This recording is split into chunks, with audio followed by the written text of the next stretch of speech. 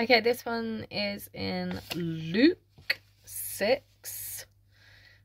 and it is from, gosh, I can't see it. What's that number? 46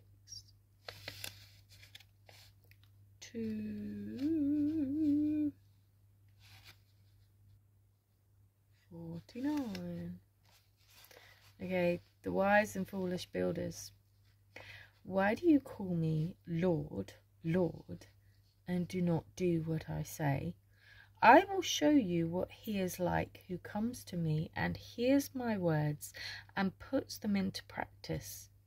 He is like a man building a house who dug down deep and laid the foundation on rock. When the flood came, the torrent struck the house, that house, but could not shake it because it was well built.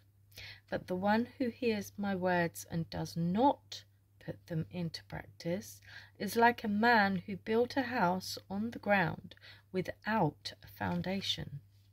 The moment the torrent struck that house, it collapsed and its destruction was complete.